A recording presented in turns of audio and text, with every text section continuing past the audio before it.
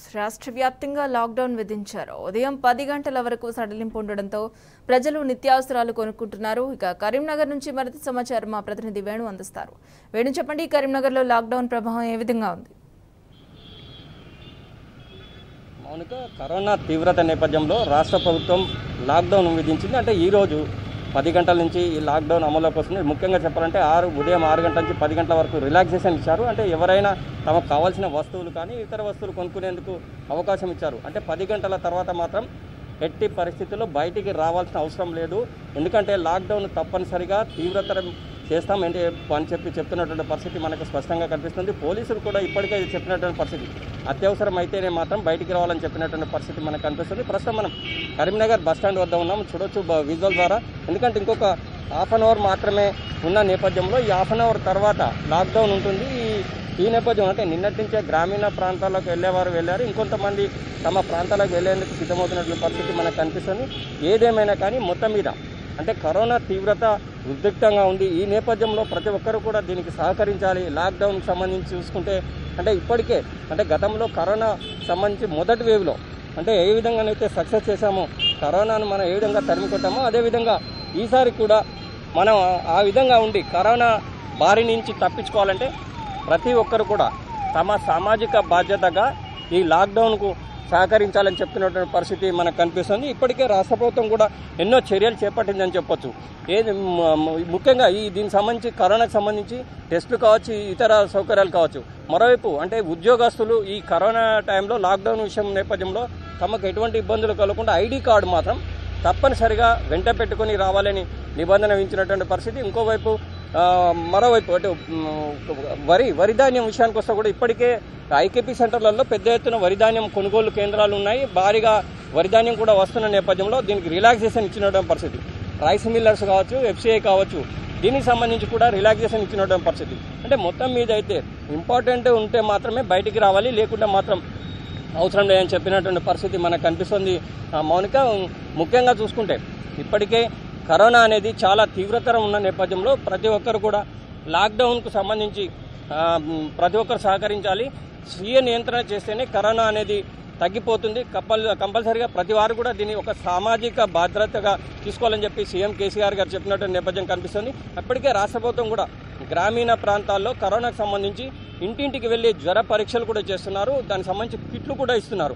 అంటే ప్రతి ఒక్కరు కూడా ఒకవేళ తమకు సిమ్టమ్స్ ఉన్నప్పుడు ఈ కరోనాకు సంబంధించిన కిట్లను తప్పనిసరిగా వాడాలి.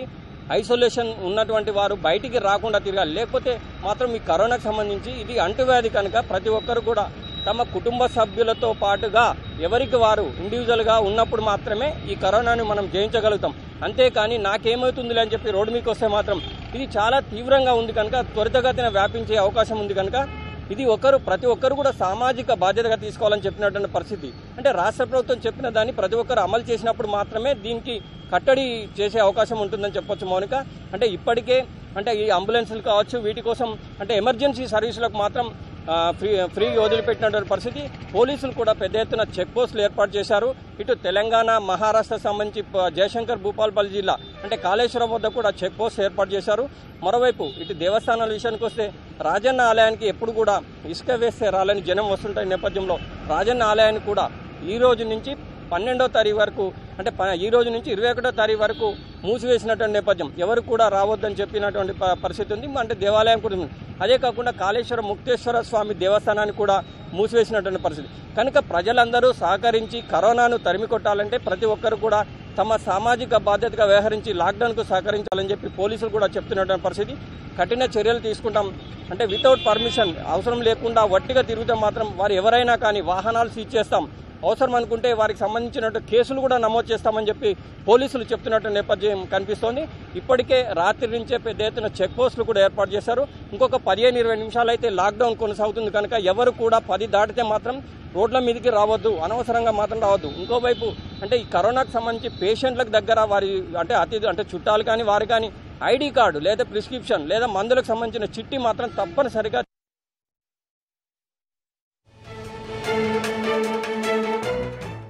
మాత్రం వారిపై చర్యలు మాత్రం కఠినంగా తీసుకుంటామని చెప్పి పోలీసులు చెప్తున్నటువంటి పరిస్థితి. ఇటు అధికారులు కూడా అన్ని చర్యలు తీసుకున్నటువంటి పరిస్థితి మనకు స్పష్టంగా కనిపిస్తుంది. మనక మొత్తం మీద అయితే ఉమ్మడి కరీంనగర్ జిల్లా వ్యాప్తంగా లాక్డౌన్ సంబంధించి రాష్ట్ర ప్రభుత్వం ఇచ్చిన విధి విధానాలను అమల్లోకి తెచ్చేందుకు ప్రతి ఒక్కరు కూడా సమాయత్తం అవుతున్నటువంటి పరిస్థితి మనకు కనిపిస్తుంది. ఏదేమైనా సీఎం కేసీఆర్ గారు మొత్తం మొదటి నుంచి చెప్తున్నట్టు ఒకటే ముచ్చట. కరోనాను మనం తరిమి కొట్టాలంటే సామాజిక బాధ్యతగా ప్రతి ఒక్కరు కూడా ఈ యొక్క స్వీయ నియంత్రణ చేసినప్పుడే ఈ యొక్క కరోనా కట్టడి అవుతుంది. కనుక అత్యవసరం అయితేనే బయటికి రండి. లేకుండా మాత్రం రావద్దు.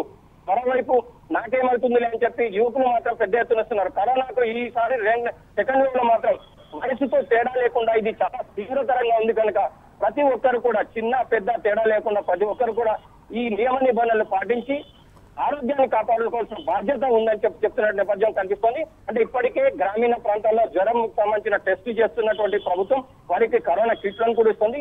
ఇవి కనుక ఈ ప్రిస్క్రిప్షన్ కంటిన్యూ వాడినట్టయితే కరోనా తగ్గే అవకాశం ఉంటుంది. కనుక ఎవరు కూడా భయాందోళనకు గురి కావద్దు.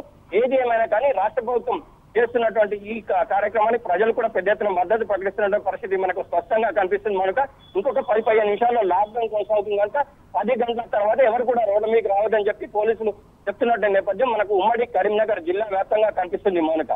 Right thanks for the updates Venu